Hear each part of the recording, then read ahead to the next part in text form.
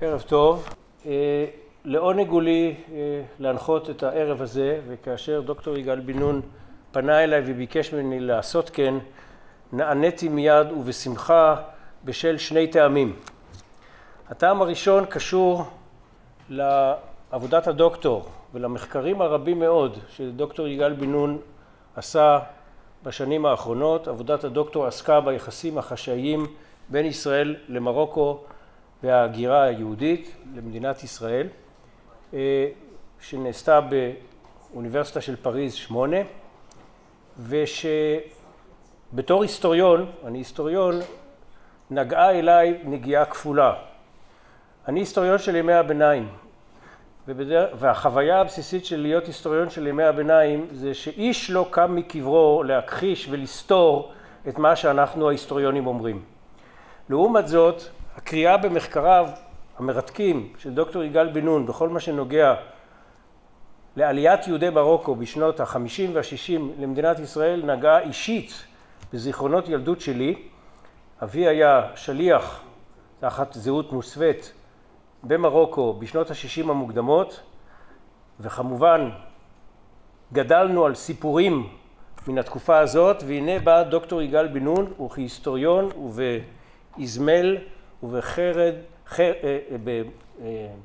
בסכין חדה שינה לנו לחלוטין את הבנתנו, את זיכרונותיי כילד והוא עושה כן וממשיך לעשות כן באומץ לב רגיל, בלתי רגיל ובכך כותב מחדש את הפרק הזה שהוא פרק חשוב ביותר בתולדות מדינת ישראל ללא משוא פנים ובצורה מרתקת. ולכן זה היה הטעם הראשון שבעטיו נעניתי בשמחה להשתתף בערב הזה. הטעם השני אפשר לומר במידה מסוימת שבטעות יסודו. הטעם השני נגע לכותרת של הערב התרמית של בית דוד. אני לתומי, כיוון שאני עוסק בימי הביניים, סברתי שהכותרת מתכוונת לתרמית הידועה מאוד שהולכת ונמשכת מאות שנים הנוגעת לבית דוד לפחות מימה, מראשית הנצרות ושנוגעת גם לזיכרון הנוצרי וגם לזיכרון היהודי. כידוע לכם האבנגליון של מתי נפתח בייחוס של ישו לדוד ואולי פחות ידוע שכמאתיים שנה מאוחר יותר גם בית הנשיאות ובראשו רבי יהודה הנשיא ייחס עצמו באמצעות איזו מגילת יוחסין אני מרשה לעצמי לומר מפוקפקת שנמצאה כביכול בראשית המאה השלישית בירושלים. להזכירכם ירושלים כלל איננה מאוכלסת ביהודים מלאחר חורבן, מלאחר מרד בר כוכבא ובמגילה זו רבי יהודה הנשיא וממנו כמובן גם כל בית הנשיאות ייחס עצמו לבית דוד. שימו לב שהנשיא הזה רבי יהודה יהודה שמו מבית, משבט דוד אביו היה שמעון ואביו שלו היה גמליאל והמסורת הייתה להיקרא על שם אסיו גמליאל הזקן האחד אחר כך שמעון בן גמליאל אחר כך עוד גמליאל והנה ועוד שמעון גמליאל ופתאום בא איזה יהודה. והיהודה הזה מייחס את עצמו לבית דוד. והייחוס המדומה הזה לבית דוד הולך ונמשך. לא רק המנהיגות הארץ ישראלית במאות הראשונות בתקופת התנאים מייחסת עצמה לבית דוד בייחוס מפוקפק לחלוטין. גם ראשי הגולה בבבל מייחסים עצמם לבית דוד. כלומר אפשר לומר שכל המנהיגות היהודית בימי הביניים החשובה ביותר מייחסת עצמה לבית דוד וכשאני אומר שזה ייחוס מפוקפק הסיבה לכך היא פשוטה מאוד. מפני שאיש כבר לא ידע בימיו של ישו ובוודאי לא לאחר מכן מי הוא בית דוד. וההוכחה הטובה ביותר לכך היא וידועה לכולכם שבמאה השנייה לספירה עולה ממלכת החשמונאים והם ממנים הופכים את עצמם למלכים. איך אפשר להעלות על הדעת שימלוך מלך בישראל שאיננו מבית דוד וההסבר היחיד הוא שכבר במאה השנייה לפני הספירה איש לא ידע יותר מי הוא צאצא של בית דוד. אני חשבתי שאתה מדבר על זה, וזה קרוב מאוד לליבי, כי אני עוסק בכל מערכת היחסים שבין יהודים לנוצרים ובדימויים הפוליטיים שבנויים, שמבוססים על ייחוס בכל מיני צורות. הנושא הזה הוא בעל חשיבות עצומה, ובזה אסיים את דברי המבוא שלי, מפני שהנצרות טענה מראשיתה שבגלל צליבת ישו נענשו היהודים וניטלה מהם הבחירה ובעיקר ניטלה מהם הריבונות המדינית שלהם כעונש על צליבת בין האלוהים.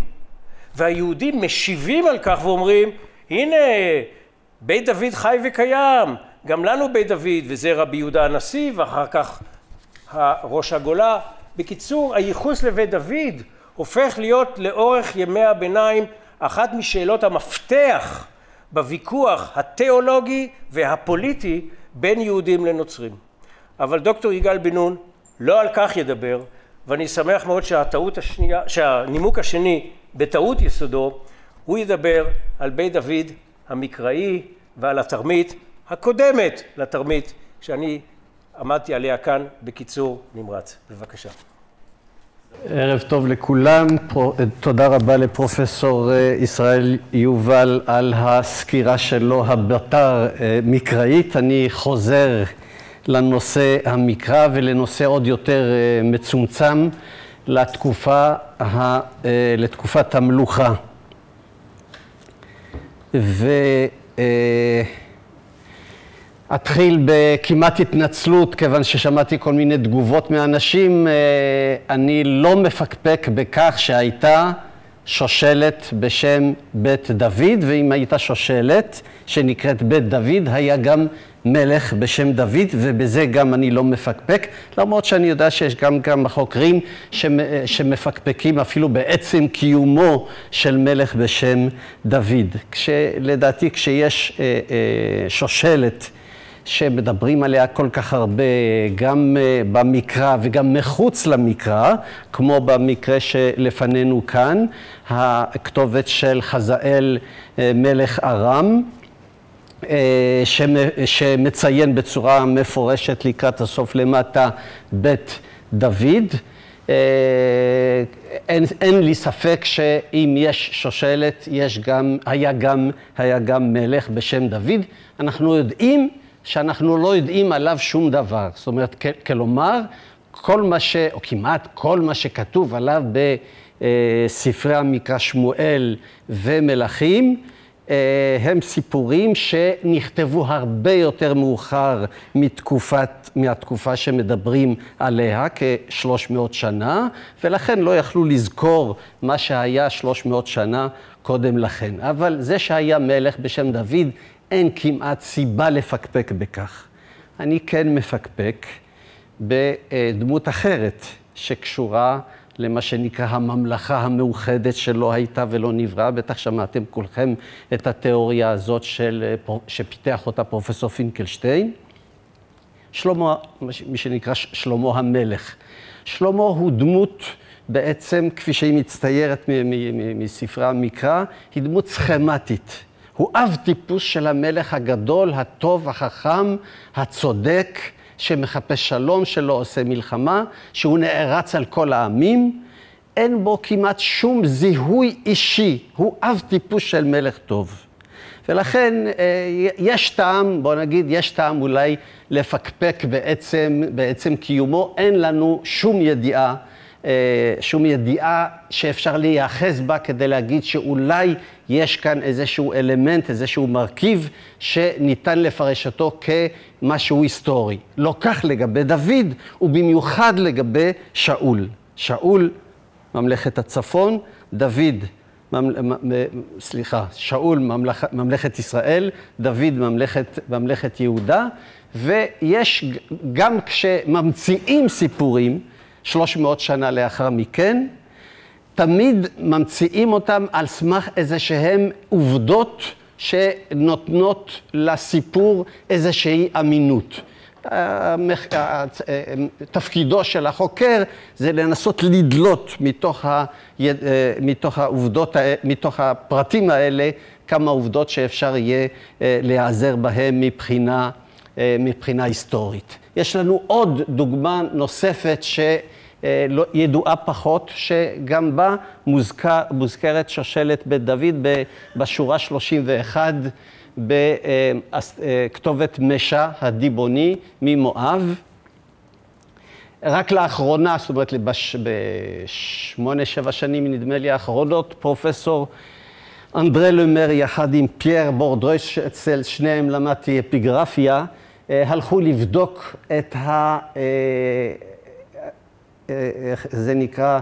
יציקה, יציקה פלסטית שעשו מן הסטלה לפני שהיא נשברה, ואז אפשר היה לגלות בשורה 31, בית תו, הדלת לא, זה השלמה, ו' ד', שאפשר לפרש את זה כמעט בצורה די ודאית כבית דוד. ובכן, שתי אה, כתובות חיצוניות בחוץ למקרא, שמאשרות את עצם קיומה של שושלת בשם בית דוד. בית דוד זה לא רק שם של שושלת, אלא שם של הממלכה, כמו שאומרים, בית עומרי כשם של ממלכת ישראל, אז בית דוד הוא שם של, אה, של ממלכת, ממלכת יהודה. אה, ומה שעשיתי הוא שאחרי שראיתי את שני, ה, שני המקרים, שתי הכתובות האלה, בדקתי מה קרה לשושלת הזאת אחרי שהוקמה בתקופתו של דוד. וראיתי דבר מאוד מעניין. עשיתי, כפי שאתם רואים כאן, רשימה של כל, ממלכ, כל מלכי ישראל מצד ימין ומלכי יהודה מצד שמאל.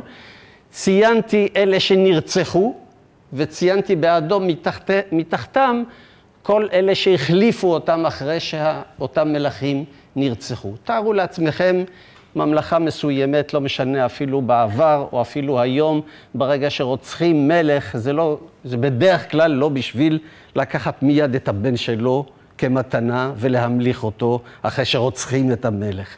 ובכן, זה מה שקרה בממלכת ישראל. כל פעם מתוך 19 המלכים שיש לנו, תשעה מהם אה, אה, נרצחו, תמיד התחלפה השושלת. מצד שמאל אתם רואים אותה רשימה בממלכת יהודה. כל פעם שנרצח מלך, אף פעם השושלת לא השתנתה. זה כבר אמור, לפחות לגבי חוקר, להעלות, להרים גבה ולהעלות שאלות, ולהגיד, רגע, מה קרה פה? האם זה, האם זה אפשרי? גם כשאנחנו בודקים מה קרה או מה קורה בארצות מסביב באותה תקופה, בעמון, מואב, אדום, ארם, אשור, בבל, פרס וכדומה, כל פעם שרוצחים מלך, לא רואים שום סיבה דווקא לקחת את הבן שלו כדי להמליך אותו. ובכן, זאת כבר, זה כבר, דוגמה הזאת בפני עצמה, כבר יכולה להוות הוכחה כמעט ודאית לכך שהשושלת, שושלת בית דוד, נפסקה כנראה כבר אחרי הרצח הראשון במקרה הזה של אחזיהו מצד שמאל, כשאתם רואים, לפני עלייתה אה, לשלטון של עתליה ובנה יואש, נכדה, סליחה, יואש. גם, כש, אה, אה, גם כשאנחנו רואים למשל מה שקרה, מה שכתוב בהרבה ספרים במקרא, בעיקר במלכים ובשמואל, וגם בתהילים, אנחנו רואים שחוזרים בצורה אובססיבית, מוגזמת ובלתי מובנת על כך ששושלת בית דוד תהיה לעולם. אז אני לא אקרא לך את, לכם את כל הדוגמאות האלה, הן עומדות בפניכם. הלעולם חוזר כל הזמן, עד עולם. ונאמן ביתך וממלכתך עד עולם לפניך, וכיסאך יהיה נכון עד עולם, ויש עוד דוגמאות נוספות. ניר, למשל, זה משהו שיישאר לתמיד, כל הימים, או, או, או לעולם, או לעולם ועד, תמיד השושלת הזאת תישאר. זה גם כן מחשיד. למה מספרים לנו כל הזמן שהשושלת הזאת תישאר? אין לנו דוגמאות אחרות, לא בממלכת ישראל ולא בממלכות מסביב, שחוזרים בצורה אובססיבית על העניין הזה של אותה שושלת תישאר כל הזמן. זה עוד חשד נוסף מתעורר אצלנו כדי לבדוק, לפחות לבדוק מה הסיבה.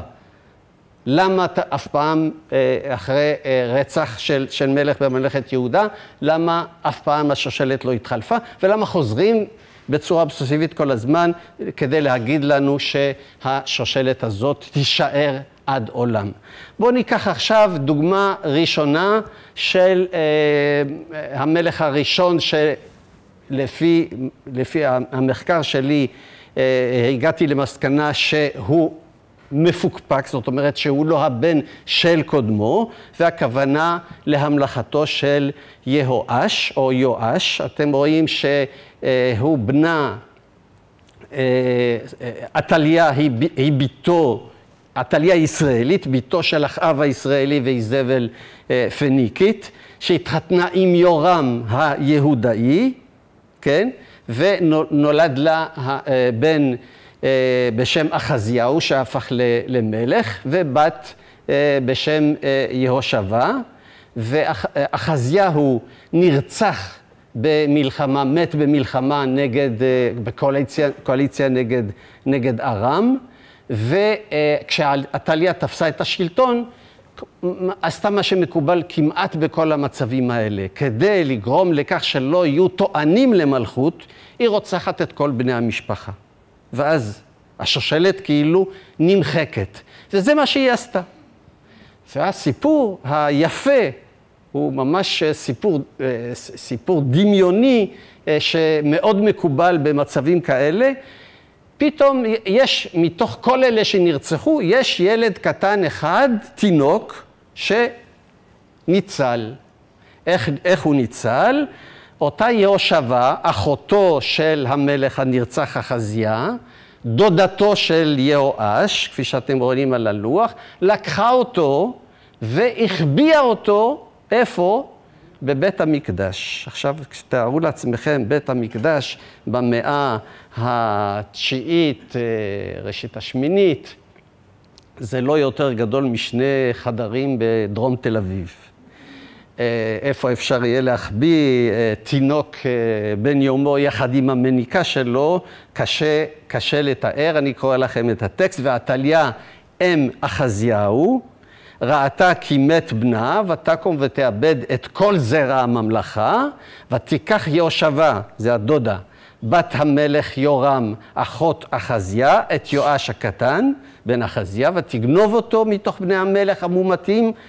אותו ואת מניקתו בחדר המיטות ויסתירו אותו מפני עתליהו, הסבתא, היא לא יודעת איפה, האמא אגב לא קיימת בכל הסיפור הזה, ולא הומת. ויהי איתה בית יהווה מתחבא שש שנים. שש שנים הוא היה בתוך חמישים, שישים מטר מרובע אולי, ועתליה מל, מל, אה, מלכה על הארץ.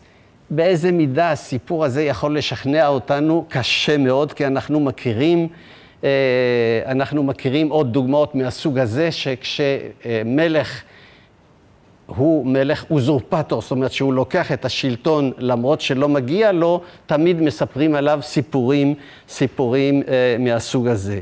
ובכן, אה, בהמשך מספרים לנו שאותו יואש, הוא אדם, אה, אה, הוא אחד מהמלכים החיוביים מתוך שלושה, שלושה חיוביים ביותר במקרא. הוא התחיל למלוך בין שבע שנים, בין שבע שנים יואש במולכו.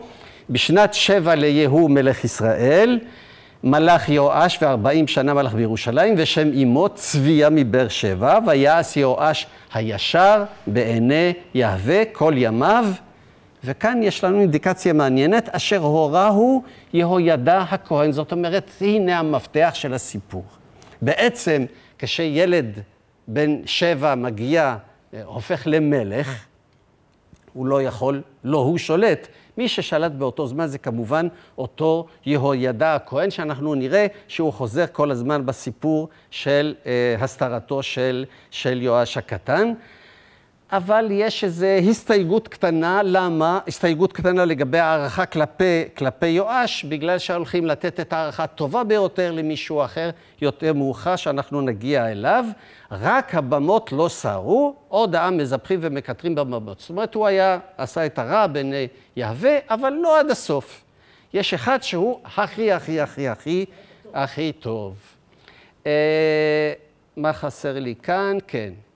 אה, אחר כך יש לנו סיפור ארוך מאוד, אני לא אקרא לכם את הכל, איך יהוידע בעצם מכין את עלייתו לשלטון של יואש בצורה קפדנית ביותר, עם הנחיות מדויקות, אני לא אקרא את הכל, אבל מה שבטוח אה, כדאי לקחת בחשבון, חוץ מהנוכחות הזאת של הכהן, של הכהן יהוידע, שהוא בעצם המולך, באותו, הוא, הוא, הוא השלטון באותה תקופה, יש איזשהו גורם מוזר שאנחנו לא יודעים, קשה לנו לפענח בדיוק מיהו, מי שממליך מלכים בדרך כלל במצבים של מצב מפוקפק לגבי עצם אה, המשכה של השושלת, זה תמיד מופיע המונח הזה, עם הארץ. עם הארץ לא במובן של היום של מישהו חסר ערך, וגם לא במובן של העם שיושב בארץ, אלא יותר משהו, זאת אומרת, לא, לא נביא, לא כהן, לא מלך, אלא איזו, איזושהי קבוצה חשובה בממלכה, איזו אה, אה, אה, אצולה. או קבוצה מתוך האצולה היהודאית של ירושלים, שהיא בעצם מושכת בחוטים וממליכה ממליכה מלכים. כדאי לכם בהזדמנות לקרוא את, ה, את הסיפור, את הקטע הזה. ובכן אמרתי לכם שאנחנו מכירים את הסיפור של אנשים שמתחילים מאפס ומגיעים לגדולה. אחד מהסיפורים הכי מוכרים לנו זה כמובן משה, הוא נמצא פשוט על היאור בתוך איזושהי תיבה. חסר ערך, הוא היה צריך בכלל לא לחיות, למות, ופתאום הוא הופך לדמות הכי חשובה בתוך ספרי המקרא, בתוך, בתוך, בתוך החומש. או למשל הסיפור של יוסף ש, ש, שנזרק לבור, כמעט מת, והופך לדמות כמעט כמו מלך במצרים, או סיפור המלכתו של סרגון, שהוא דומה מאוד לסיפור של, אה, של משה, שנמצא בתוך סלסלה, אני מקווה שהייתה אטומה. על נהר פרת והופך למלך גדול אה, של האימפריה האשורית, או כל מיני רועי צאן שסתם אנשים חסרי, כאילו חסרי ערך, שהופכים למלכים. זה מאוד נפוץ. או סיפור אפילו לידתו המוזרה של ישו, נולד מספק לא יודעים בדיוק איך, איך, איך, איך ילדה אותו, איך ילדה אותו אימו בלי, בלי אבא, משהו מהסוג הזה, ופתאום הופך לדמות חשובה של, אה, אה, של ממציא אה, הנצרות. יש לכם פה את הרשימה, שמתי לכם רשימה פה של כל אותם אנשים, מלכים שלדעתי באדום, שהם להערכתי לא הבנים של קודמיהם. אלא אוזורפטורים, זאת אומרת, אנשים שהביאו אותם מבחוץ, כמו הסיפור של יהואש, שכולם, כל החוקרים כבר שמו לב לעובדה הזאת, שזה לא, לא הגיוני, לא תופס, לא יכול להיות שהוא אכן באמת אה, נכדה של, של עתליה. יש לנו ספקות גם לגבי עזריה, שחלה ו... בעצם אה, יותם החליף אותו לפני ש, שהוא, שהוא נפטר. יש לנו את הסיפור של מנשה ויאשיהו, שאנחנו נרחיב עליהם את הדיבור.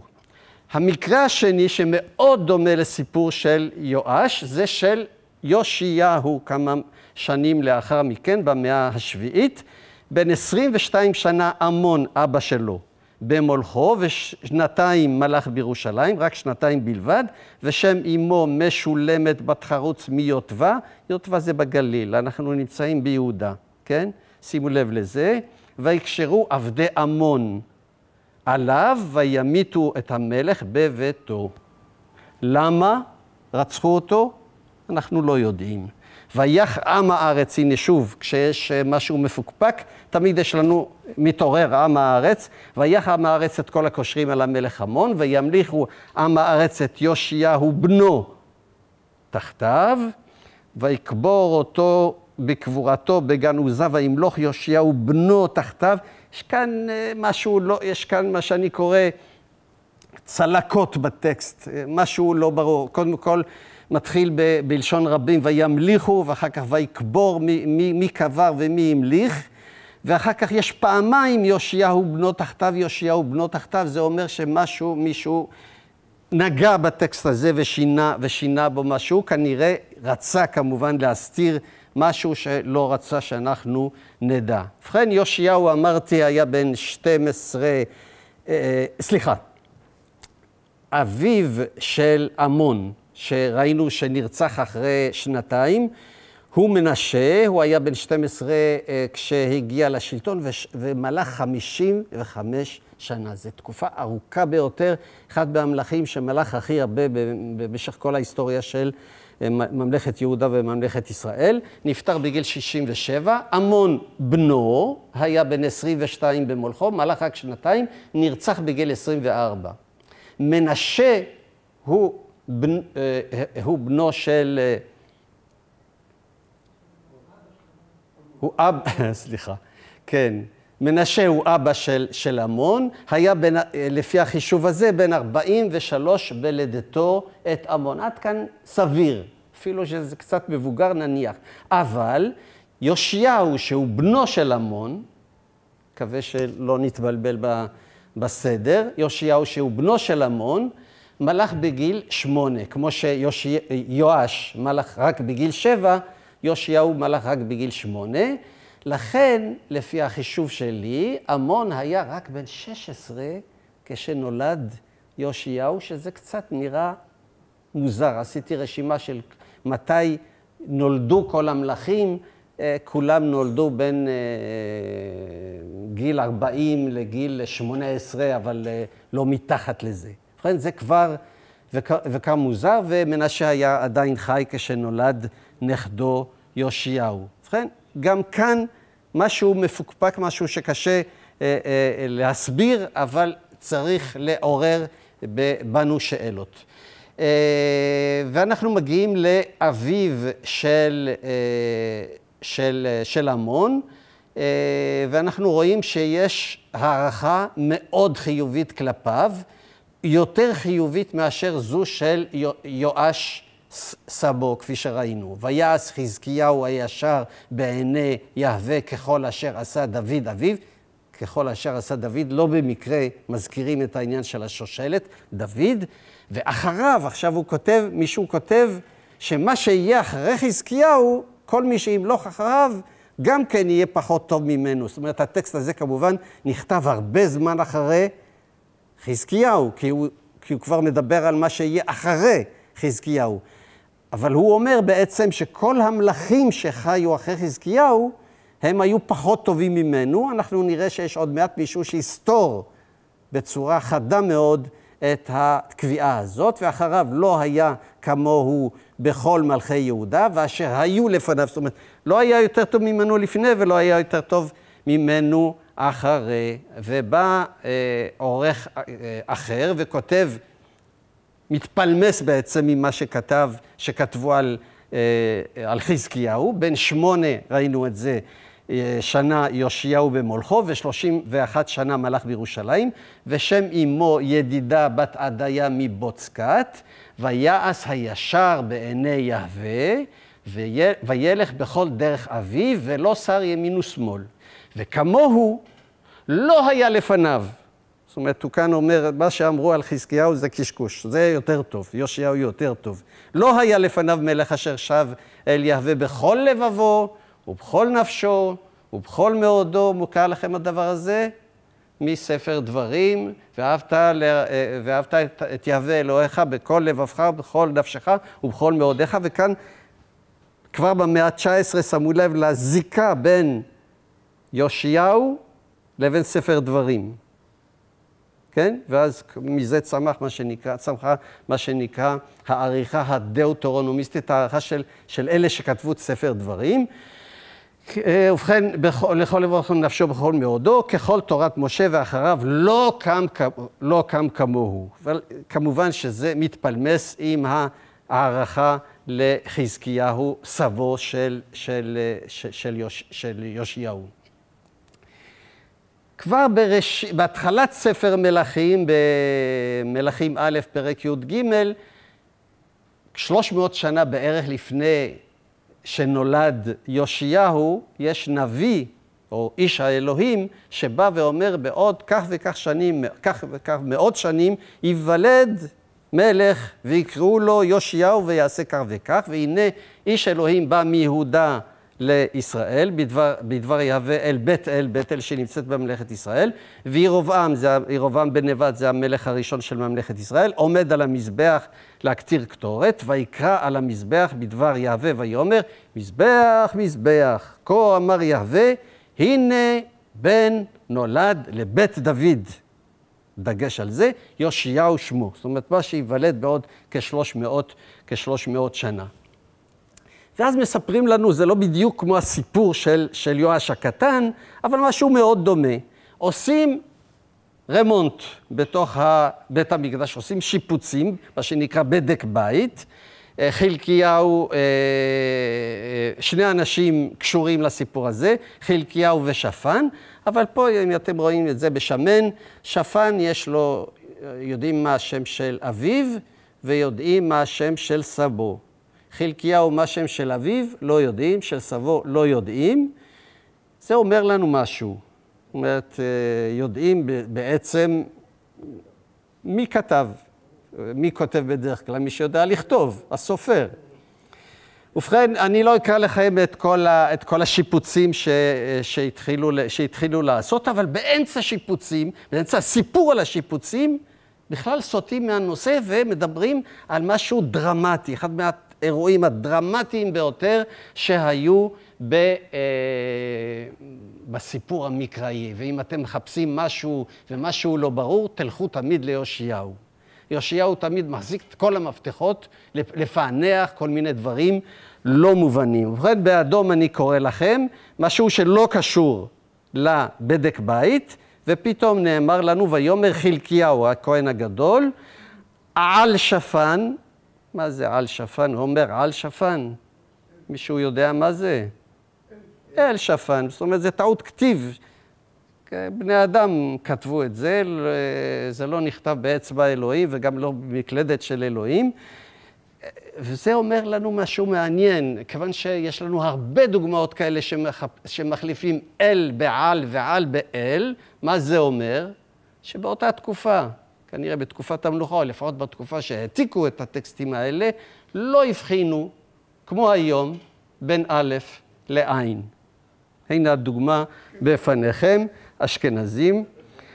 אה, ובכן, אל שפן הסופר, אה, ובכן אני קורא, ויאמר חלקיהו הכהן הגדול אל שפן הסופר, ספר התורה מצאתי בבית יהווה, ויתן חלקיהו את הספר אל שפן ויקראהו. זאת אומרת, זה משהו מאוד דרמטי. מוצאים ספר, והספר הזה, הוא נותן לנו בעצם את המפתח כמעט לכל מה, ש, מה שכתוב בחלק גדול מספרי המקרא. ואז על פי המשפט הזה בעצם, כבר במאה, בסוף המאה ה-19, התחילו, התחילה ביקורת המקרא והתחלנו להבין בעצם איך נכתבו, איך התחילו להיכתב, אה, להיכתב הטקסטים האלה. על הנושא הספציפי הזה אני אדבר עוד ב-29 לחודש בהרצאה הבאה. על הסיפור של אה, מי כתב את ספר דברים ולאיזה מטרה, ומה זה הסיפור הזה של יהווה אחד. ואחר כך אתם רואים בשחור, חוזרים, לסיפ... חוזרים לספר לנו על שיפוצים. היה משהו מאוד דרמטי, עוזבים את הדרמה, ויבוא שפן הסופר אל המלך, וישב אל המלך וידבר. הוא אומר, הטיחו עבדיך את הכסף הנמצא בבית יהווה, ויתנו אותו כך וכך, פרטים, ממש אה, לדבר עם, אה, עם שיפוצניקים. ושוב חוזר הנושא של הספר, ויגד שפן הסופר למלך לאמור, ספר נתן לי, הוא נתן, לא, לא, אני לא, לא מצאתי שום דבר, הוא נתן, נתן לי חלקיהו הכהן, ויקראהו שפן לפני המלך, כיוון שהוא יודע כמובן לקרוא, כנראה שהמלך לא יודע כל כך, ויהי כשמוע המלך את דברי ספר התורה, ויקרא את בגדיו. למה הוא קרא את בגדיו? ב-29 לחודש. אנחנו חוזרים לבדק הבית של ימי... יאשיהו. אם אתם שמים לב מה ששמתי בשמן, ויתנו אותו לעושי המלאכה אשר בבית יהווה, אנחנו מוצאים בדיוק, או כמעט בדיוק, אותו סיפור של בדק בית, שיפוצים בתקופתו של יואש כמה, מאות, כמה, כמה מאות שנים לפני כן. כמעט מילה במילה, עם שינויים, עם שינויים קטנים. שני שיפוצים, אותו, אותה, צורת, אותה צורה של, של, של תיאור הבעיות של, של השיפוץ, רק שבסיפור של יואש לא מצאו ספר, אבל מצאו ילד.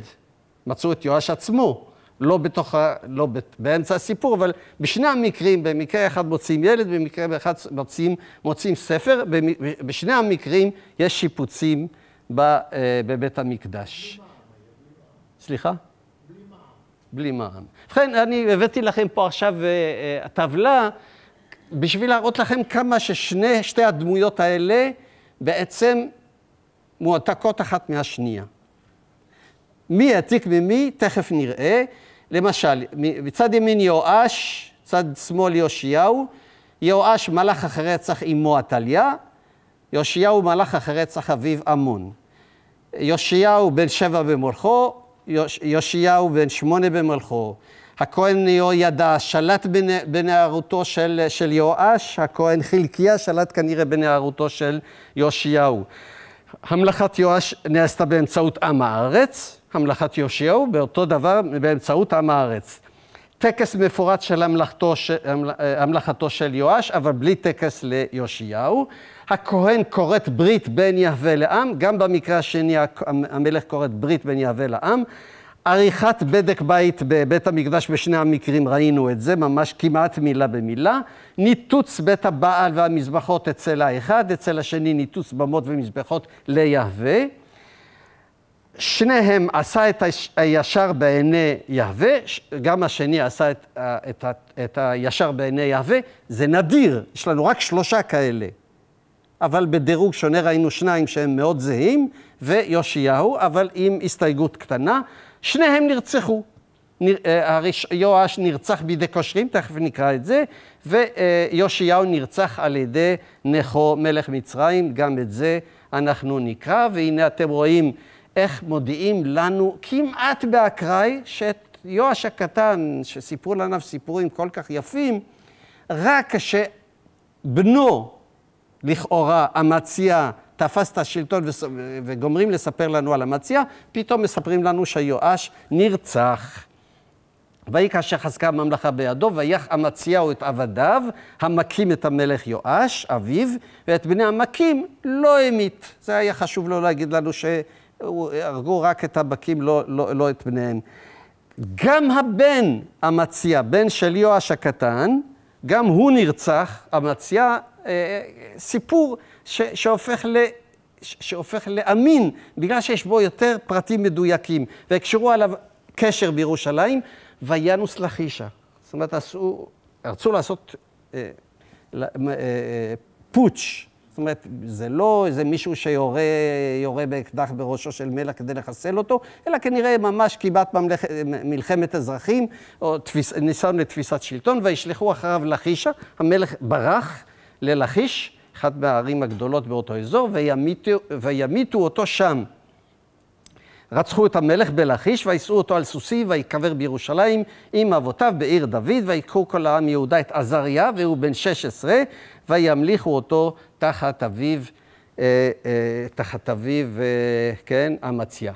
ובכן, יש לנו עכשיו, מה, מה שאמרתי עד עכשיו זה, אל, זה אלה שבעיניי הם מלכים מפוקפקים, בגלל שההורים, כאילו, האבא שלהם, לפי המקרא, נרצח, ובאופן תמוה, במקום שהשושלת תתחלף, מספרים לנו איזשהו סיפור דמיוני שמצאו ילד קטן או שהמליכו אותו בגיל שמונה, ואז אה, השושלת נמשכת. זה העיקר.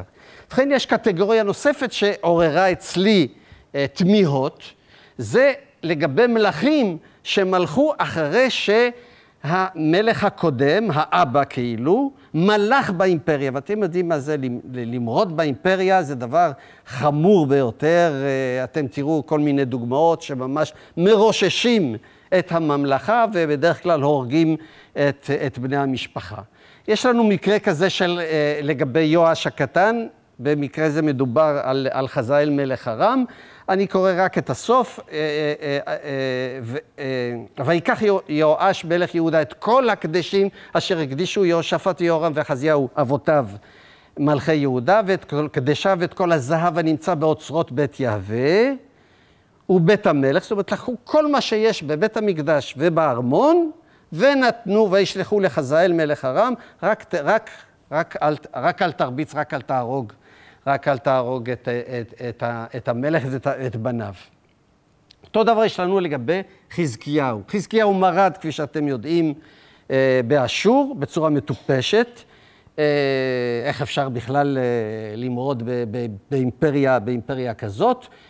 ברגע האחרון ניצלה ירושלים בגלל שהמלך היה צריך ללכת להילחם נגד המדים הרבה יותר רחוק, אבל הוא נאלץ להיכנע בצורה משפילה ביותר. אחד מהמלכים שנחשבים, לפי מי שקראת, שקראתי לכם, עשה את הטוב, עשה את הישר בעיני יהווה, אבל הם שני המלכים שעליהם נאמר שעשו את הישר בעיני יהווה, הם מלכים עלובים ביותר, שגרמו לנזקים לממלכות של, לממלכה שלהם. ב-14 שנה למלך חזקיהו עלה סנחריב מלך אשור על כל ערי יהודה הבצורות ויתפסם. לקח לו את כל הערים מסביב לירושלים, וישלח חזקיהו מלך יהודה אל מלך אשור לאחישה לאמור, חטאתי, שוב מעלי, רד ממני, את אשר, תת, אשר תיתן אעשה כל מה שאתה תגיד, אני אעשה, רק אל תהרוג אותי, אל ת... הוא לקח לו את הנשים שלו, לקח לו את, את הערים שלו, לקח לו את כל אוצרות בית המקדש, לקח לו את כל אוצרות uh, הארמון, ואותם שנים שהוא לא... שילם מס לאימפריה, הוא שילם רטרואקטיבית בצורה עוד יותר גדולה. זה הטקסט המקראי, שמודה בצורה מפורשת, חטאתי שוב מעליי, אבל זה הטקסט של, של סנחריב, שמצידו מספר בצורה מפורטת ביותר איך שהוא לקח 46 ערים רצ... אה, בצורות, איך שהוא הגלה 200,150 200, נפש מיהודה, זה, זה, אפילו עם הגזמה, זה כמות אדירה תכף נראה את, ה, את המספר הזה, הזה, והוא השאיר את חזקיהו כציפור בכלוב, זאת אומרת, בתוך, אה, בתוך, בתוך ירושלים לא יכול לזוז. לקח לו אפילו את אה, חיל המחץ וחיל הנבח, חיל הנבחר שלו, לקח לו את מרכבות מגינים, ולקח לו את, את בנותיו, את פילגשיו, את השרים ואת השרות, והכל, הכל הוא לקח. זאת אומרת, ממש השאיר אותו ערום רק השאיר אותו בחיים. פה שמתי לכם את שלושת ההגליות החשובות בתולדות אה, ישראל ויהודה. אתם רואים שבממלכת ישראל סרגון הגלה לפי הטקסט התנ"כי בסך הכל 28, 27 אלף אה, ישראלים. סנחריב ביהודה, פחות או יותר באותה תקופה, הגלה 200 1,150 אה, נפש יהודאים. נבוכדנצר, אחרי חורבן ירושלים, הגלה הרבה פחות מזה, משהו בין 8,000 אולי ל-50 אלף איש. בשום מקום לא כתוב 50 אלף, אבל אולי עושים מכפלה כדי אולי להגיע לאיזשהו משהו אה, אה, אה, יותר, יותר סביר. אמנם זה רק אלה המוגלים, כי בתקופה של אה, נבוכדנצר, עם כיבוש ירושלים, הרוב הגדול פשוט נרצח ומת, מתו במלחמה, מתו בכמויות גדולות מאוד, כך שירושלים התרוקנה, יהודה התרוקנה, ומי שנשאר אפילו ברח לכיוון צפון, לכיוון ממלכת ישראל לשעבר. אבל אתם רואים שהסיפור הזה של 200 אלף איש בתקופה של סנחריב, זאת הגלאי שלא מדברים עליה. לגבי הראשונה מדברים, סמבטיון, עשרת השבטים, איפה הם וזה, אבל את ה-200 אלף של יהודה בכלל שכחו לגמרי, זה מה שאני קורא הגלות הנשכחת. פה, יש לנו את הסיפור של אה, מלכותו של חזקיה, שמרד, כפי שאמרתי, בשלטון. אה, הוא נולד ב-715, ב-701 הוא מרד באשור, וב-697 מנשה כבר הגיע לשלטון, לפי ספר מלכים. אה, לפי כרונולוגיה, שיש שתי כרונולוגיות, אחת של אה, גרשון גליל, אבל אני משתמש בעיקר זו של אה, פרופסור עודד ליפשיץ, לפי הכרונולוגיה הזאת, אם היא, שנראית יותר סבירה, כמנשה, כאילו בנו של חזקיהו, מלך כ-11 שנה לפני מותו של, של חזקיהו, מלך שהוא עדיין היה בחיים, וחזקיהו המשיך לחיות ארבע שנים בערך, קצת אולי פחות, מאז שהוא מרד ב, אה, באימפריה, רק ארבע שנים בלבד. נשאלת השאלה, וזאת שאלה שעלתה אצל הרבה אנשים, באיזה מידה כל אותם מפעלי בנייה שמדברים עליהם שבנה, אה, שבנה חזקיהו, האם, הם, האם בנה אותם באמת חזקיהו או מישהו אחר. המסקנה הולכת ומתבררת שזה לא נעשה בימי חזקיהו, אלא נעשה ב, ב, בימיו של ממשיכו, אה, מי שבא אחריו, מנשה. היה מקרה מאוד מעניין בתקופת אביו של חזקיהו, אחז, אני לא אקרא לכם את הכל, אבל הייתה קואליציה בין ישראל, ארם, נגד, אה, אה, נגד, נגד אשור. ממלכת יהודה, אחז בממלכת יהודה, לא רצה להצטרף לקואליציה הזאת, אז שני השותפים, ארם וישראל, אמרו, אנחנו נדיח את אחז ונשים במקומו מלך אחר. מלך בשם בן תבאל. להערכתי ולהערכת הרבה חוקרים, הבן תבאל הזה הוא ישראלי מממלכת ישראל ולא ממלכת יהודה. אם היה, אם היה יהודאי, בטח היו קוראים לו בן טוביה, יה, ולא בן תבאל, אל יותר שייך לממלכת הצפון, יה או יהווה לממלכת הדרום. עוד משהו מוזר, אתם רואים למשל את הסיפור של אמציה בן יואש לעומת חזקיהו. שניהם אומרים בדיוק אותם שנים שהם מלכו.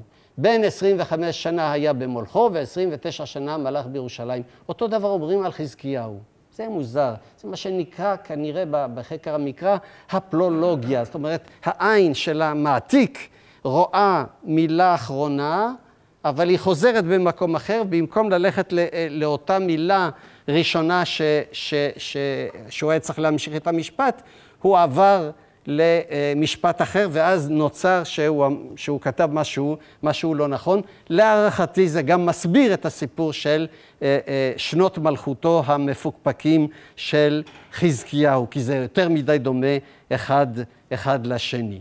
ובכן, מיהו אותו מנשה שהחליף את חזקיהו? לא סביר, אמרתי את זה כבר, שאחרי כל ההשפלה שהשפיל סנחריב את, אה, את חזקיהו, שיגיד לבנו בוא בוא בוא תהיה מלך. עוד בזמן שחזקיהו חי. להערכתי, זה לא בנו של חזקיהו, הוא פשוט לקח ישראלי ומינה אותו, כפה אותו על ממלכת יהודה. למה ישראלי? איך קוראים למלך הזה? מנשה. מנשה זה מחוז בממלכת ישראל. תזכרו את בן תבאל והטראומה שהייתה להם, שהמליכו, רצו להמליך מלך, לכפות מלך ישראלי על, על החז, אביו של חזקיהו. האם חזקיהו היה קורא לבנו מנשה על שם מחוז בממלכת ישראל? זה כאילו מחמוד עבאס יקרא לבן שלו גליל, או שרון, או ציון. אז אה, זה לא סביר, זה לא סביר. לא השם, השם הזה לא, לא, לא יכול להיות אה, אה, בנו של, זאת אומרת, שם שחזקיהו נתן לבנו, גם אמו של, של, של מנשה משולמת בת חרוץ מיוטבה, יוטבה נמצאת כנראה לפי הרבה חוקרים, נמצאת בגליל, זאת אומרת בממלכת ישראל ולא בממלכת יהודה, וזה מחזק את הטענה שמנשה לא רק שלא היה בנו של חזקיהו, אלא היה מלך ישראלי. מנשה ועמון הם גם היחידים בתוך כל הרשימה שנתתי לכם, אני אראה לכם אותה עוד פעם.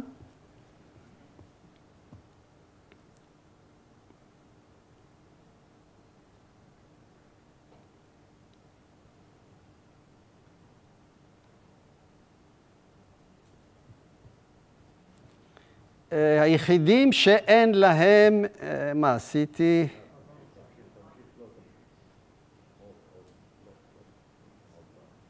הנה. אם אתם שמים לב לכל מלכי יהודה, חוץ מהראשונים שבכלל יהווה נכנס לממלכת ישראל, ממלכת יהודה, רק במאה התשיעית, לא בתקופה של רחבעם, לא אביעם ולא עשה. הראשון הוא יהושפט. יהו, אז זה מלך יה... עם שם יהביסטי. כל המלכים לאחר מכן הם בעלי שמות יהביסטיים, חוץ משניים, ולא במקרה, מנשה ועמון, כי הם ממלכת אה, לא ממלכת יהודה, אלא ממלכת ישראל. גם האחרים שבאים אחריהם, אנחנו עוד נדבר עליהם. פה הם מופיעים כולם בשמות יהביסטים, אבל יש להם גם שמות אחרים. תכף גם נגיע, נגיע, ל, נגיע לזה.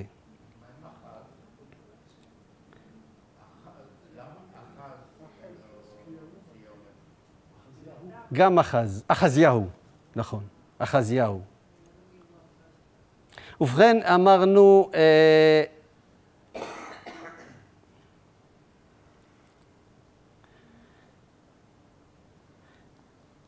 אוקיי, המלכים המורדים, אני לא רוצה להתעכב אה, יותר מדי. כן, מפעלי הבנייה, כן, אה, זה חשוב.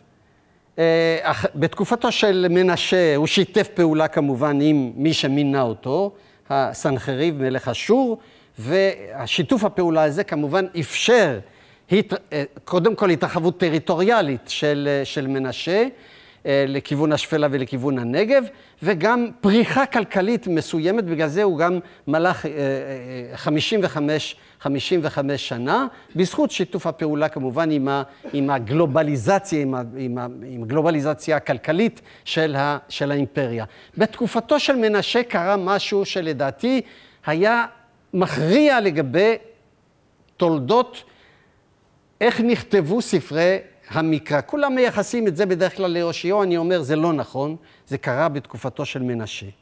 כי אז, רק בתקופתו של מנשה, הישראלי, ששולט ביהודה, נוצר, נוצרה זיקה ממשית בין מסורות ישראליות מצד אחד, מסורות יהודאיות מצד שני. ישראליות בזכות מנשה ועמון, יהודיות בזכות זה שהם חיו, ב, חיו בירושלים. באותה תקופה לדעתי גם נכתבו הסיפורים על על שאול דוד ואת שאול ודוד דוד ושלמה. שאול ודוד בעיקר, העניין שאול ישראלי, דוד יהודאי והקשר ביניהם. כל ספר שופטים בעצם דן רק בממלכת ישראל, חוץ מעתניאל בן כנז. זאת אומרת, זה הביאו את המסורות הישראליות ל- ליהודה. ספר מלכים, שני שליש לפחות שלו, כולו דן רק בממלכת ישראל, לא בממלכת יהודה, כולל אליהו ואלישע. וגם באותה תקופה, אני לא על זה אדבר היום, אלא אולי אה, ב-29 לחודש, נוצרה זיקה משפחתית בין יעקב הישראלי לבין אברהם היהודי, היהודאי, דבר שלא היה במקור, אלא היו שתי מסורות נפרדות לחלוטין.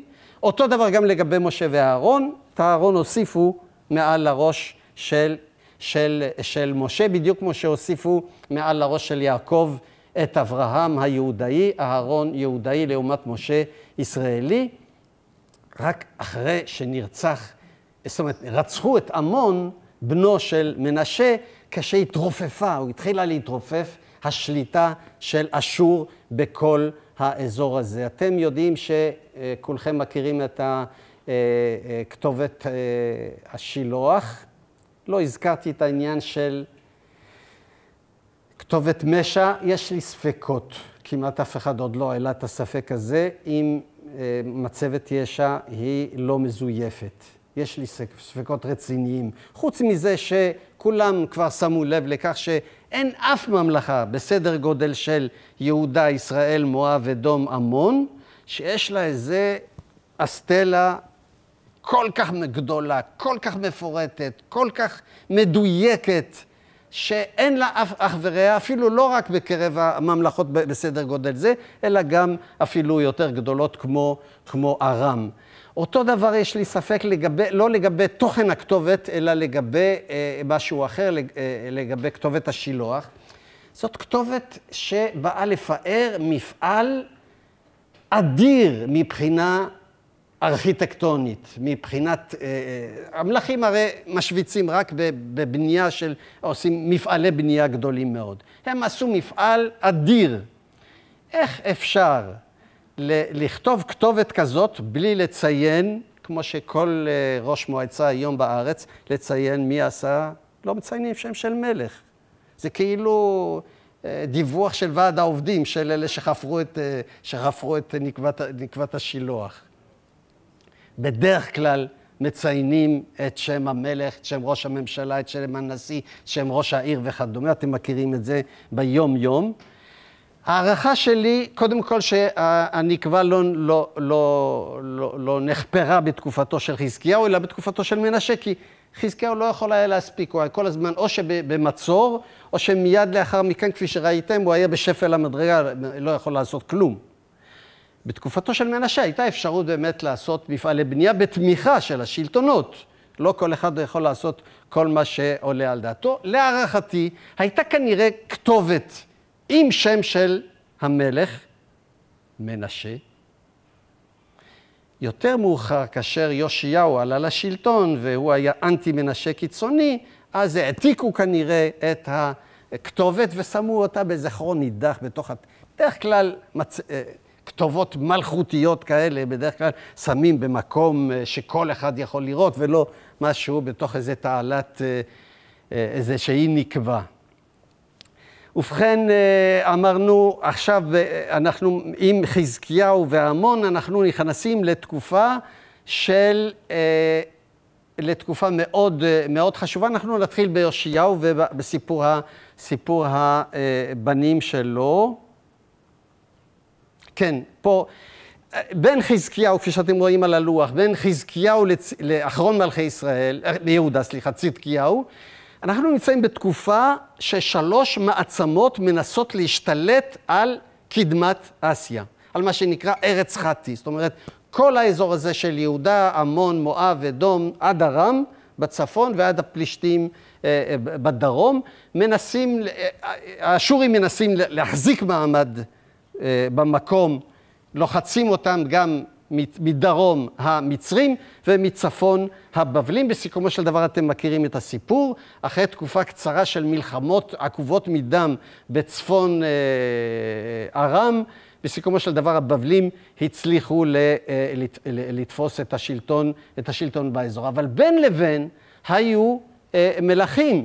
למשל, אה, אה, אנחנו יודעים שבתקופתו של, אה, של חזקיהו הוא מרד בסנחריב, ותסתכלו על השמות של, של המלכים, של האימפריות שמלכו באותו זמן של כל מלכי, מלכי, מלכי יהודה, אנחנו רואים שיש התלבטות כל הזמן במי לתמוך, האם לסמוך על כך שהאשורים יישארו במקום, האם לסמוך על כך שהאשורים יעופו ואז לא נשלם מס, ואז ניעזר במצרים, והמצרים יכירו לנו תודה וייתנו לנו אה, לשלם פחות מס, או האם לחכות לבבלים, או האם הבבלים יהיו יותר טובים, פחות טובים. על כל פנים, אתם רואים שהייתה התלבטות גדולה מאוד גם בתקופתו של אה, יאשיהו וכל אלה ש, שבאו אחריו. בעצם אלה שבאו אחרי יאשיהו כולם אמורים להיות בניו או צאצאיו.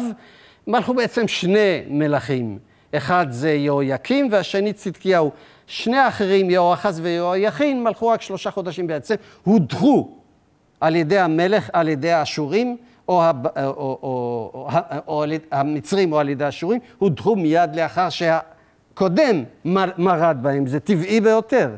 אתה מורד בי, אז אני לא אתן לבן שלך אה, לשלוט, אני אה, אה, אגלה אותו. ואז אנחנו מגיעים לסיפור של יאשיהו ובניו, ואני אקרא לכם את מותו של יאשיהו הפעם. בימיו עלה פרעה נחור מלך מצרים על מלך אשור, בן הר פרת, אתם רואים על המפה בצפון קרקמיש, שם היו הרבה מלחמות. וילך המלך יאשיהו לקראתו, וימיתהו במגידו כראות אותו. אומרת, אנחנו יודעים מי כתב את הקטע הזה, כיוון שאנחנו יודעים את השמו של הסופר מתקופתו של, של אה, יאשיהו, אותו שפן בן, בן עצליהו. אה, ובכן, אה, הוא אומר מעט מאוד, הוא לא אומר בעצם. הוא אומר רק שרצחו אותו בצורה משפילה. לא הייתה שום מלחמה, שום דבר, קרא לו, אמר לו, בוא, בוא, בוא, בוא, אני נמצא במגידו, בוא אליי, ורצח אותו. וירכיבוהו עבדיו מת ממגידו, ויביאו לירוש, לירושלים, ויקברוהו בקבורתו, ויקח עם הארץ, עוד פעם הגוף המוזר הזה, את יהואחז בנו, בן יאשיהו, עם הדגש על בן יאשיהו, וימשכו אותו, והמליכו אותו תחת אביו. מוזר ביותר שאחרי שרוצחים את האב, המלך המצרי יסכים שימליכו את בנו, את בנו תחתיו. ובכן, על הסיפור של העם הארץ אה, אפשר להרחיב את הדיבור, אבל הבאתי בטבלה הזאת את כל אותם מופעים של עם הארץ. כל פעם זה מופיע רק כשיש המלאכה מפוקפקת. אני לא אקרא לכם את הכל, ותמיד, כשהמלאכה לא מפוקפקת, עם הארץ לא מופיע. נמשיך, אה, ספר דברי הימים, שבדרך כלל אי אפשר לסמוך על נאמנותו, נותן לנו רשימה של בניו של יאשיהו, בני יאשיהו הבכור יוחנן, השני יהויקים, השלישי צדקיהו, הרביעי שלום, ואין לנו את יהואחז. אתם זוכרים שיהואחז הוא שהחליף את, את יאשיהו.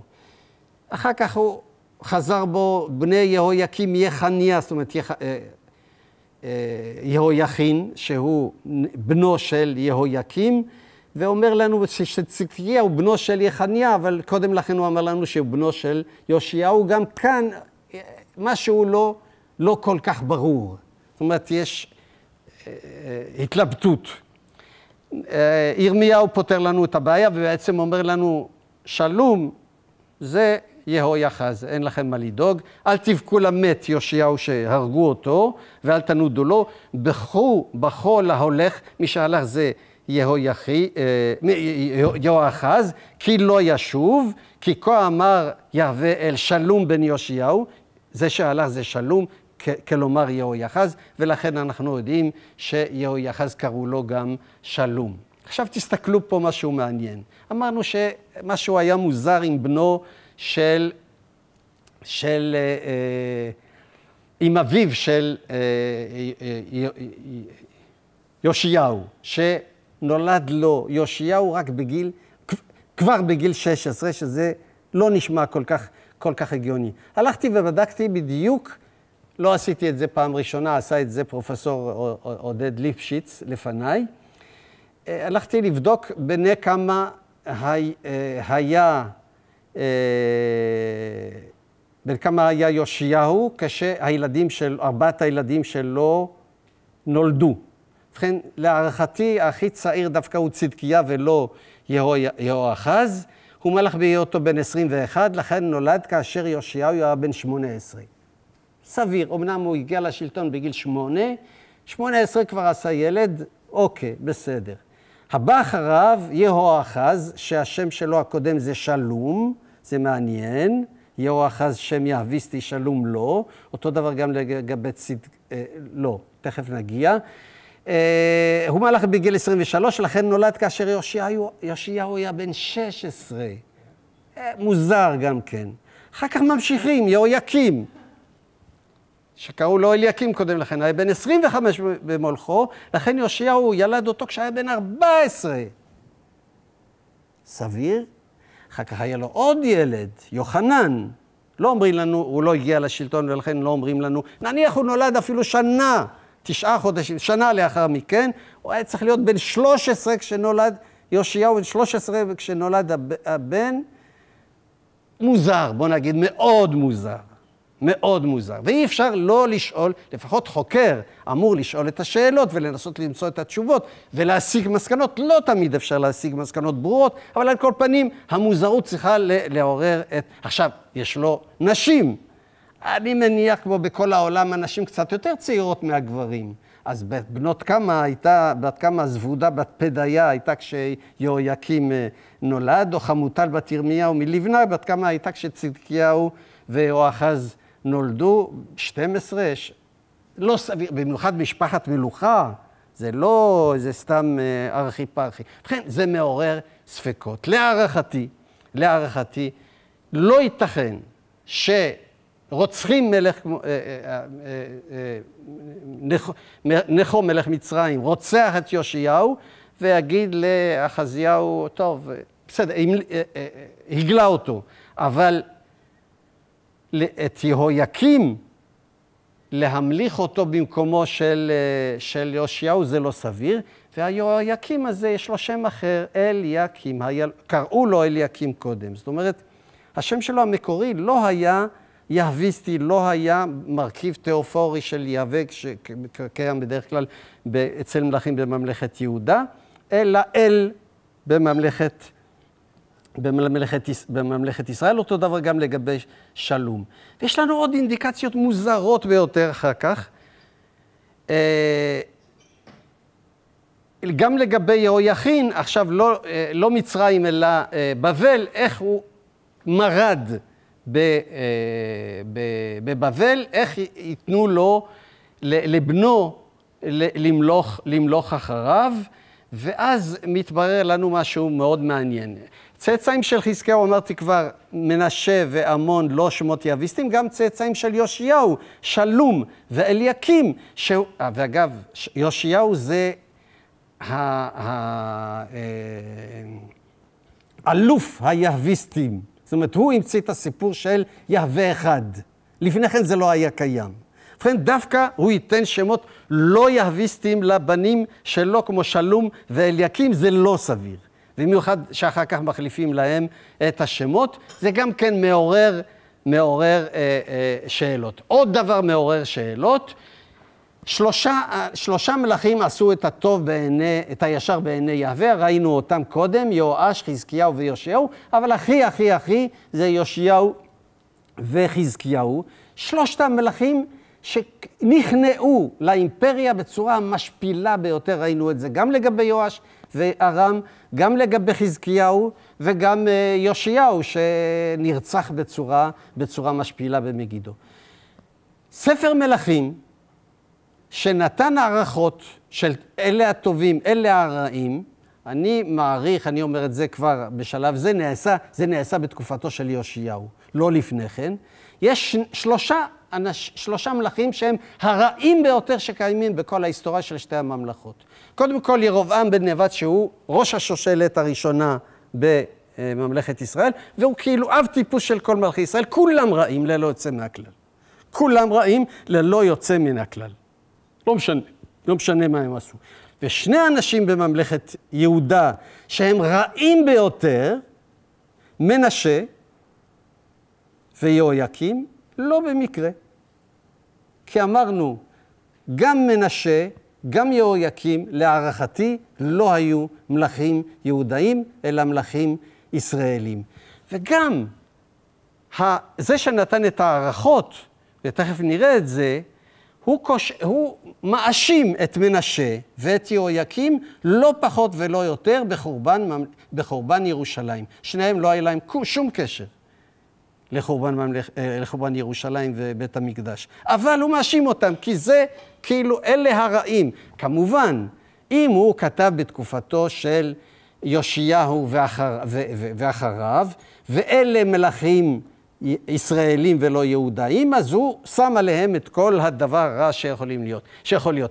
דווקא בשני המלכים האלה מוכרים לנו כ, כמלכים שמלכו הרבה זמן יחסית, ושתקופת מלכותם הייתה תקופה די מפוארת, במיוחד זו של, של, של, של מנשה. ובכן, אתם רואים ד... משהו מוזר, חזקיהו, שהוא הטוב ביותר, ומנשה בנו הוא הרע ביותר, לפי הערכות של ספר מלכים, או יושיע הוא הטוב ביותר, ויהויקים, בנו, הוא הרע ביותר.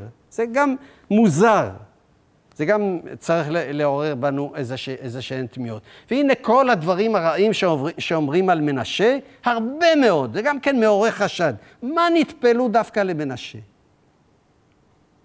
זה צריך לעורר בנו איזה שהם ספקות. למה מנשה? מה הוא עשה כבר?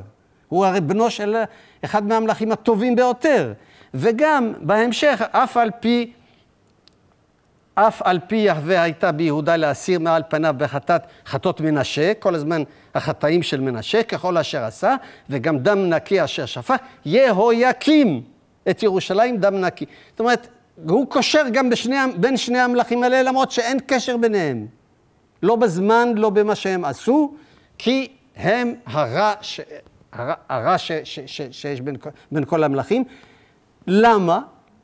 אם אנחנו צריכים לחפש תשובה, אז אני חושב שמצאנו אותה בעניין הזה של הם מונו על ידי האימפריה מממלכת ישראל כדי לשלוט, אה, לשלוט בממלכת יהודה, וכך למעשה אה, אה, לחזק את, את שליטתה של האימפריה.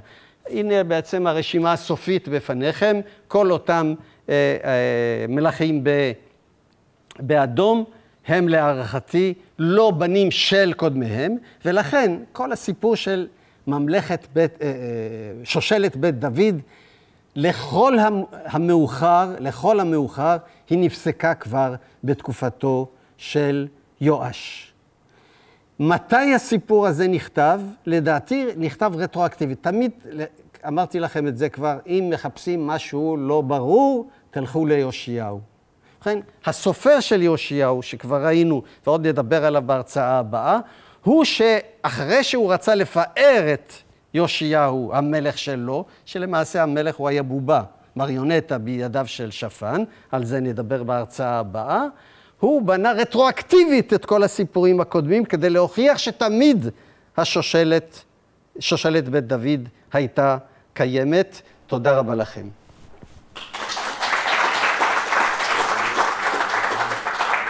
הרצאה מאלפת אה, ועל הדיוק בזמן, דיוק שעה. אה, וזה אה, מביא אותי קודם כל להשלים חסר שהיה בפתיחת דבריי, שכן שכחתי לציין את העובדה שלדוקטור יגאל בן נון שני תארי דוקטור, האחד ציינתי, והשני, שמעתם את כוחו, נקרא שכבות עריכה בטקסטים הקשורים לראשיתה של ממלכת ישראל ולמסורותיה, שנעשה אף הוא בפריז, בפריז אבל הפעם באקול פרטיק דזאת אתוד. אה, והנה כאן שמענו את כוחו כי רב לו בצד המקראי. אה, אני, אה, לפני שנפתח את, ה... את הבמה לשאלות הקהל, רוצה כיושב ראש לשאול אותך שאלה אחת, ושבכל זאת תחזיר אותי קצת אל אי ההבנה שלי מלכתחילה ביחס לנושא. אתה דיברת כל הזמן על שושלת בית דוד, הראית לנו שהשושלת אכן נפסקת בשלב מסוים. יש ספר מפורסם של יעקב ליבר על בית דוד שטוען שהשושלת אכן נפסקה, אבל אם אני זוכר נכון, הוא טוען שהיא נפסקת מאוחר יותר. אבל בעצם המקורות שלנו לא מדברים על שושלת, הם משתמשים בשני מושגים אחרים, או בבית דוד או בכיסא דוד. עכשיו, שוב, כיוון שאני בא מתקופות מאוחרות יותר, אני שואל, שאלה שיש בה בוודאי מידה מסוימת של. אה, אה, אה, אנכרוניזם, והיא לגבי המושג, נתחיל קודם כל במושג כיסא דוד. אנחנו מכירים את השימוש במושג כיסא בנוגע לדמות חשובה בהקשרים אומנם מאוחרים יותר, אבל בעלי משמעות אחרת. אם נחזור עוד פעם לנצרות, אז הכיסא של פטרוס, הסדס פטרי, שהוא כיסאו של האפיפיור לאורך כל הדורות, אשר יושב על כיסאו של הבישוף הראשון של רומא, שהוא פטרוס. אין, אין במשמעות הזו של לשבת על כיסא של פטרוס משמעות שושלתית. והוא הדין לגבי מושג שנזכר לראשונה בברית החדשה ואחר כך גם מופיע במקורות מימי הביניים, המושג של כיסא משה או הקתדרה של משה. מי שיושב על הקתדרה של משה, אין הכוונה שהוא מהשושלת של משה, אלא שהוא ממשיך את המושג הזה. ויכול להיות אפוא שכשאותם מחברים מקראיים מדברים על, על כיסא דוד, הם לא מתכוונים לשושלת של אב בן אב במשמעות הביולוגית, אלא הם מתכוונים בצורה אולי רחבה הרבה יותר, כלומר לכל אלה שממשיכים איזושהי, היינו קוראים לזה היום בעברית אולי מורשת. אה, כדאי לציין כאפשרות נוספת, וגם היא אנכרוניסטית, אבל אולי, אני שואל את זה, כאפשרות קיימת, שכן, אה, הזכרתי כבר את הברית החדשה ואת העובדה שישו מיוחס לדוד, אבל כל, וזה יהודים טענו תמיד לימי הביניים, הרי הייחוס לדוד נקטע ברגע הדרמטי ביותר, וזה הקטע של אביו של, הרי אם הוא נולד מרוח הקודש, אז יוסף לא אביו, ואת זה יהודים ניצלו, והפרשנות הנוצרית בעצם מפרשת את זה על ידי שימוש גם היא במושג אחר של ההמשכיות, והוא מביא אותי לשם השני שנמצא במקורות המקראיים, זה בית דוד, נכון? עכשיו, בית דוד יכול להיות שיש לזה גם משמעות של משפחה, לא של שושלת, אלא של איזושהי הגדרה רחבה מאוד. ושאלתי אם כן, סליחה, עוד דוגמה אחרונה לפני שאשמח לשמוע את תשובתך, והיא אה, גם קיסרי רומא הם אינם בשושלת, שולטים בשושלת, מיוליוס קיסר, אלא הם מאמצים תמיד את זה שבא בעקבותיהם, והוא נחשב לבנו של הקיסר הקודם, אבל במשמעות ספיריטואלית, במשמעות אה, רוחנית ולא במשמעות שושלתית. ולכן שאלתי היא, האם אולי אפשר לפרש את חלק מן המקורות המקראיים המדברים על כיסא דוד או על בית דוד, לא במשמעות השושלת, כמו שאתה שאלת על רציפות השושלת, אלא בהגדרה הרבה יותר רחבה. התשובה היא די ברורה, כיוון שזה נכון שהסיפור של אה, בית דוד לא בהכרח אמור אה, לציין אה, שושלת. בדרך כלל, אגב, הוא לא מציין שושלת, הוא מציין שם של ממלכה. זאת אומרת, כשאומרים בית עומרי, הכוונה לממלכת ישראל, או בית דוד, הכוונה לממלכת יהודה. כל זה היה יכול להיות נכון לגבי הסיפור גם של הכיסא, כי מדברים, בדרך כלל הכיסא מיוחס למלך, גם, גם במקרא. גם כשמדברים על יהווה, יהווה מלך, אז הוא תמיד יושב, יושב קרובים, הרבה פעמים. זאת אומרת, המלך יושב. אז uh, ראינו למשל את העניין של עד עולם, או ניר, אבל גם הם יכולים בצדק להגיד שלא מדובר ב... זיקה משפחתית של אב ובן, אלא אה, שם של שושלת אפילו אם אין זיקה משפחתית. אבל מה עושים כאשר לגבי כל אחד ואחד מהמלכים בנפרד, אומרים לנו, הוא בנו של, תמיד, ועם דגש. זאת אומרת, אין אחד שלא אומרים שהוא לא בנו של קודמו. אין לי אחד. זאת אומרת, בדקתי. אין, אין, אין אף מלך ביהודה שלא מוזכר שהוא בצורה מפורשת שהוא בנו של, או, או, או נכדו, כמו במקרה של יהויכין. אה, זה נכון שמי שלוקח את ספר דברי הימים, שנכתב איזה 300 שנה לאחר האירועים שאנחנו מדברים עליהם, של רצח יאשיהו, שם כתוב שהוא כמעט לא בדיוק, אה, זאת אומרת, הוא נלחם והוא לא מת במקום, לקחו אותו, זאת אומרת, סיפור שונה. סיפור יותר לטובתו של יאשיהו. ובכן, א', זה נכתב הרבה יותר מאוחר, וזה שכתב את הסיפור הזה בספר דברי הימים, לא יכול היה לדעת מה שקרה 300 שנה לפני כן. שנית, וזה יותר חשוב, אתם מתארים לעצמכם שהאיש הטוב ביותר שבכל ספרי המקרא, יושי, יאשיהו, עם השפן שלנו, שעוד נדבר עליו בעוד כמה שבועות, היה מדלג על כך שה, שהמלך שלו נלחם בגבורה נגד אשור. אם היה דבר כזה, הוא היה, הוא לא, הוא לא אמר, הוא אמר, הוא הגיע, אמר לו, בוא, בוא, בוא, בוא אליי, בוא, בוא למגידו, רצח אותו והלך. אין, במגידו, מלך מצרים. כן, כן, נגד, לא, לא, נגד מצרים. הוא רצח אותו, ב, רצח אותו במגידו, בלי קרב, בלי שום דבר. זאת אומרת, למה הוא רצח אותו בעצם? זה לא אמרתי. בגלל שהוא כבש איזה עיר כמה קילומטרים מצפון ל, לירושלים, בית אל, שהיא בממלכת ישראל. ושם עשה שמות במקדש, עשה שמות באוכלוסייה, וזה ראה אה, אה, פרעה נכרו, אמר לו, מה זה, אתה משתולל? בוא, בוא, בוא למגידו, רצח אותו. זה ככה מקובל באותה תקופה, שלא יהיו... האימפריות שלטו שלטון ללא מצרים. זאת אומרת, תמיד היה להם איזה נציב, נציב עליון בבית, איך זה נקרא, בארמון הנציב בירושלים, זה, זה לא בארמון הנציב, זה ברמת רחל ישב. כולם ישבו שם, המצרי, השורי, הבבלי, הפרסי, ברמת רחל, וקבע, הוא ידע בדיוק מה שהולך בממלכה, וקבע אתם צריכים לשלם כך וכך. עכשיו, אתם צריכים להבין את המצב, היה, המס היה כבד מאוד, אבל האימפריות תמרנו עם זה, אסור שזה יהיה כבד מדי עד כדי כך שאנשים, לא- שהמלכים לא ירצו, ימרדו ולא ירצו לשלם, ומצד שני, שזה לא יהיה נמוך מדי כדי שהאימפריה תרוויח. השאלה הראשונה שלך, טוב שאתה שואל, שואל אותה, לא דיברתי עליה. ממלכת ישראל. אמרת בצדק, ב-722 ממלכת אה, ישראל נכבשה על ידי האשורים. ויש לנו תחושה, כשאנחנו קוראים את, אה, את, את, את, את התקופה הזאת ואת את, את, אה, בספר, בספר מלכים, שבעצם ממלכת ישראל נמחקה מעל פני האדמה. זה פשוט לא נכון. ממלכת ישראל הייתה ממלכה חזקה, מפותחת, כלכלית, אינטלקטואלית.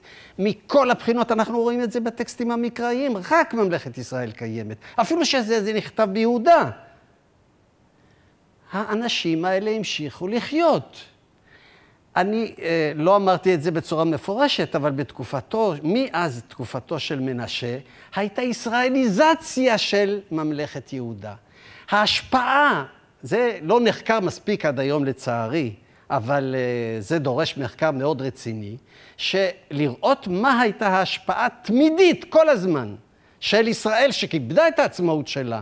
אבל מה זה איבדה את העצמאות שלה? זה נכון, אבל נכנסה לגלובליזציה, למדינות הגלובלית, גם מבחינה כלכלית, גם מבחינה דמוגרפית, גם מבחינה, מכל הבחינות, גם מבחינה אינטלקטואלית, גם מבחינה ספרותית. השפעה של, ה, של, של, של האימפריה, ולכן מצבם היה הרבה יותר טוב, אפילו בלי ש, שהיה להם מלך. היו, היו אה, אה, מושלים או אשורים, בבלים, אה, פרסים, או אפילו מקומיים. יש לנו את התעודות של ודידליה, שמוכיחים לנו באמת את ההשפעה הזאת שנמשכה של ממלכת ישראל על ממלכת יהודה, ולמעשה, כל ההרצאה שלי באמת, לא אמרתי את זה בצורה מפורשת, מטרתה זה היה להגיד בסיכומו של דבר, מאז ימי מנשה וגם לפניו, אבל בעיקר בימי מנשה ויהויקים, היה תהליך של ישראליזציה של יהודה, לא במקרה גם כב-48, כאשר היה צריך להחליט מה שמה של המדינה הזאת, לא החליטו שזה יהודה. מה זה יהודה? זה היה עלוב וקטן וחסר ערך. ישראל כן, ולכן החליטו לקרוא לזה ישראל ולא יהודה, ואת זה צריך לקחת בחשבון. גם כשקוראים למשל את, את הסיפורים בספר, בספר מלכים, אנחנו רואים שלאט לאט ממלכת יהודה אימצה את השם ישראל. אחרי שכאילו אין מלוכה, אז אה, שיחקו עם ה... לפעמים קוראים לזה ישראל, לפעמים, לפעמים יהודה. זאת אומרת, רצתה, יהודה רצתה לאמץ את ה... אה, אה, את, את המסורות של, של, אה, של, ממלכת, של ממלכת ישראל. יש עוד הרבה דוגמאות כאלה שבאים להוכיח לנו כמה שהתהליך הזה של ישראליזציה היה, היה חזק. אנחנו רואים את זה בסיכומו של דבר בתקופה היוונית ורומית, שרוב האוכלוסייה בתקופת אלכסנדר ינאי למשל, או העוצמה הצבאית והדמוגרפית שלו, לא באה מאזור ירושלים, באה מהגליל, משומרון וכל מה שנמצא מצפון, מצפון לירושלים. כך שזה דבר שצריך לקחת אותו בחשבון. תשכחו מהסמבטיון, תשכחו מעשרת השבטים שהתפזרו לכל עבר, הם נשארו במקום. מי שכן התפזר, ראינו את זה עכשיו, 200 אלף ו- ועוד נפשות, זה דווקא מממלכת יהודה, לא מממלכת ישראל. ולכן ישראל היא ממשיכה אה, אה, להשפיע כל הזמן. הטקסט הוא טקסט. הוא לא היסטורי ולא לא היסטורי. זאת אומרת, אפריורי יש לנו, אנחנו יכולים מאז אה, סוף המאה ה-19, יש לנו כבר איזשהו כיוון שאנחנו לוקחים את הטקסטים האלה. קחו בחשבון, עוד פעם, אולי לא הייתי, הייתי צריך להגיד את זה, אבל אני אומר את זה כל הזמן. התנ"ך הוא לא ספר, התנ"ך הוא ספרייה. ספרייה שנכתבה בתקופות שונות, ב- על ידי כותבים שונים, ואף ספר לא נכתב מתחילתו ועד סופו על ידי אותו מחבר, לא כמו, ש, לא כמו שהיום. לכן היום אנחנו, על פי חקר הטקסטים, אנחנו מסוגלים גם לסווג את הטקסטים לז'אנרים ספרותיים. למשל, יש הבדל בין טקסט שעוסק בעניינים משפטיים לעומת מזמור תהילים, או טקסט שמדבר על היסטוריה של מלכים לכאורה, מאשר טקסט על איזושהי משפחה של, של אישה עקרה. אה, יש הבדל בין טקסט אגדתי לבין טקסט מיתי שמדבר על אלים, וכך אנחנו מחלקים את זה לז'אנרים, ואפריורי אנחנו מתייחסים כמובן לטקסטים האלה מבחינת נקודת מוצא בצורה שונה, לא מתייחסים לטקסט משפטי כאילו שזה אגדה, זה לא, לא עובד, או להפך. לכן היום יש לנו כלים בשביל לדעת, זה, זה חקר המקרא, זאת אומרת לדעת לקרוא בצורה ביקורתית את הטקסטים האלה. כן, לפעמים אנחנו יכולים להבין, לפעמים יש דברים שאנחנו לא מבינים. יש הרבה דברים סתומים שאנחנו לא יודעים, אבל לפחות אנחנו אומרים, זה לא מובן לנו. זה סתום, הטקסט הזה סתום. ויש דברים שאנחנו מצליחים לפענח, ועם הזמן באמת יש התקדמות במחקר בתחומים האלה. יש דברים שהיום אנחנו יודעים שבעבר לא ידענו. למה? בגלל כל מיני ידע נוסף שיש לנו גם לגבי ממלכות מסביב, גם מבחינה ארכיאולוגית, גם מבחינה בלשנית, גם מבחינה אפיגרפית, מכל מיני בחינות. והיום יש לנו כלים בשביל לדעת לקרוא בצורה ביקורתית את הטקסטים האלה. גם כשאנחנו קוראים טקסט שאפריורי הוא נראה אה, היסטורי, כמו שניסיתי לעשות פה. צריך לקרוא את זה בצורה ביקורתית ולשאול את השאלות. זה מה שעשיתי כל ההרצאה הזאת, זה לשאול, להגיד, רגע, משהו כאן לא בסדר. אפילו לפעמים אין לנו תשובה, אבל לפחות את השאלות צריכות להישאל. זה מוזר, ולהגיד את זה, ולנסות למצוא פתרונות. לפעמים יש לנו פתרונות, ולפעמים אין לנו פתרונות. אה, שומרונים זה שם, כמעט שם גנאי, שניתן יותר מאוחר לאוכלוסייה הטרוגנית. זאת אומרת, היהודאים תמיד אמרו, תראו, אנחנו תמיד נשארנו אה, אה, מבחינה גנטית, כאילו זרע קודש, במיוחד בתקופה, בתקופה הפרסית, ואלה ערב רב באים מכל מיני מקומות, וזה כמובן פולמוס בין, אה, בין, בין, בין שתי הממלכות, במיוחד עם, עם, עם אה, אוכלוסייה שהייתה הרבה יותר מפותחת, הרבה יותר הרבה פחות הומוגנית מבחינת, בגלל שהשטח היה הרבה יותר גדול. זה לגבי העניין הישראלי, שהבירה, אה, ישראל הייתה שומרון. השאלה הקודמת הייתה, אה כן, אזכור של, אה, של מלכים, יש לנו כמה מלכים ש, אה, שמוזכרים בטקסטים חוץ מקראיים לא מעטים. למשל, דוגמה, דוד ושלמה לא מוזכרים בשום טקסט. סליחה? בית דוד זה שושלת, כן. זאת אומרת, שם של ממלכה, כן. ככה, בית עומרי, שם של ממלכת ישראל. זאת אומרת, אנחנו יודעים שהייתה ממלכה בשם בית, בית דוד, אבל על מלך ומה הוא עשה או דברים כאלה, אין לנו.